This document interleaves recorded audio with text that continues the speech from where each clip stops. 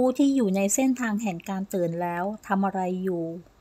1. พวกเขาไม่สามารถดูโทรทัศน์ได้อีกต่อไป หรือดูเนื้อหาที่คัดสรรมาอย่างดี 2. สำหรับพวกเขาการแข่งขันไม่สมเหตุสมผลอีกต่อไป แทนที่จะแข่งขันกัน พวกเขาชอบที่จะแบ่งปันทำงานร่วมกัน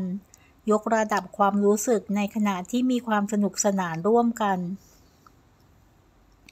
3. พวกเขารู้ว่ามิติที่ 5 ไม่ใช่สถานที่ แต่เป็นความถี่ มันเป็นสถานะที่สั่นสะเทือน 4. พวกเขาไม่กลัวสิ่งที่ไม่รู้จักอีกต่อไป พวกเขารู้ว่าโลกภายนอก เป็นส่วนหนึ่งของธรรมชาติ และอาถรรพ์ควรถูกมองว่าเป็นสิ่งที่เป็นธรรมชาติ และไม่เป็นสิ่งที่รบกวนจิตใจ 5. พวกเขารู้ว่าปีศาจไม่มีอยู่จริง สิ่งที่มีอยู่คือความอัปยศอดสูอันยิ่งใหญ่ ที่เกิดจากความเย่อหยิ่ง ความเห็นแก่ตัว ความโลภ ความกลัว และภาพลวงตาของการพัดพราก ซึ่งท้ายที่สุดแล้วสามารถเปลี่ยนรูปแบบได้อย่างเต็มที่ 6. ชอบอยู่คนเดียวบ่อยๆ อยู่ตามลำพังกับสัตว์ ธรรมชาติ หรือหนังสือ พวกเขาอยู่กับคนอื่นได้ก็ต่อเมื่อรู้สึกดี ซึ่งทำให้สั่นสะเทือนสูง 7. พวกเขาตระหนักดีว่าพวกเขามีเป้าหมายในชีวิต และลงมือทำเพื่อค้นหามัน 8. พวกเขาเข้าใจว่าการชนะในชีวิต ไม่ได้หมายความว่าจะรวยแล้วตาย น้อยกว่าการเอาชนะผู้อื่น เพื่อพิสูจน์ว่าพวกเขาเก่งกว่า และต่อสู้มากกว่า พวกเขารู้ว่าชัยชนะในชีวิตหมายถึง การเอาชนะขีดจำกัด และความกลัวของพวกเขา การชนะคือการไปถึงบ้านปลายของชีวิต ด้วยหัวใจแห่งความกตัญญูรู้คุณ ว่าทุกอย่างเสร็จสมบูรณ์ และสมบูรณ์แบบ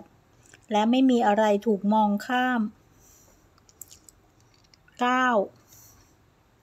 พวกเขาตระหนักว่าโดยพื้นฐานแล้ว ไม่มีเหตุผลใดที่จะรู้สึกคิดถึงการสูญเสีย เนื่องจากพวกเขารู้ว่า เราทุกคนเป็นสิ่งมีชีวิตนิรันดร์และความตายไม่มีอยู่จริง เป็นแค่การเปลี่ยนแปลงจากมิติหนึ่ง ไปสู่อีกมิติหนึ่ง 10. พวกเขาอยู่ที่นี่เพื่อรับใช้ ให้และแบ่งปัน แก่ตนเองก่อน และต่อจากนี้ไป ทุกสิ่งมีชีวิตที่ข้ามเส้นทางของตน ปล่อยภาพลวงตาของการควบคุม และไหลอย่างเต็มที่กับชีวิตเอง 11. ฉันมาที่นี่เพื่อรัก ที่จะรักทุกสิ่งมีชีวิตอย่างลึกซึ้ง และอย่างแรงกล้า ทุกแง่มุมที่เล็กที่สุด ของการสร้างสรรค์และสิ่งที่เป็นอยู่ 12. พวกเขาตระหนักดีว่าต้องรักษาบาดแผล ด้วยกระบวนการให้อภัยต่อตนเองและผู้อื่น พวกเขาไม่รู้สึกตกเป็นเหยื่อ แต่ต้องรับผิดชอบต่อสิ่งที่เกิดขึ้น